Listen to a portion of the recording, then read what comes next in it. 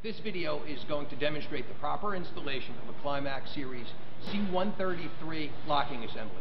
It will also be applicable to our Series C123, C170, C192, and C193, all of which are single taper two-piece units of a similar design.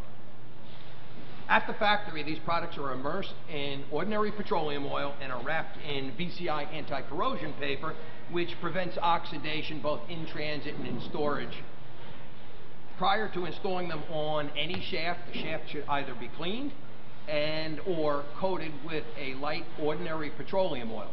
It's important that uh, no synthetic lubricants or oil with uh, EPA additives or any kind of anti-seize compound are used as these contain molybdenum disulfide, which is an extreme pressure lubricant and will adversely affect the torque capacity of these devices. So ordinary petroleum oil only. Prior to installing these devices, make sure that they are in the relaxed position and that the inner ring flange and the outer ring are parallel with one another. Quite often when installing these, you can run into trouble in that the tapers want to begin to engage and expand and fight you installing it into the hub bore. So what, what we can do is take out two or three of the locking screws, install them into the adjacent jacking holes, and just lightly tighten them. And what that does is prevent the tapers from engaging and having, this, having the device fight you into the hub bore. Installing the locking assembly into the hub bore, it is important that the flange face is brought up against the, uh, tightly against the hub. And I am going to select one of the screws immediately adjacent to the slit. First, I'm going to snug them all up against the flange face, and I'll usually start with either an Allen key or a hex bit on a uh, ratchet wrench because it's a little easier than working with the torque wrench. I am going to begin to take quarter passes at the screws.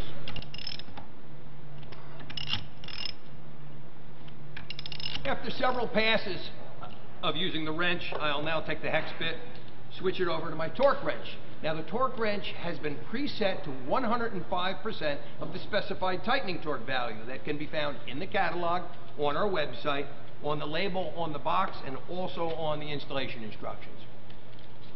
Okay, picking up on the screw that I left off on, I'm going to continue to make my quarter turn pulls until the torque wrench clicks. In this particular uh, instance, it indicated it's achieved 105%.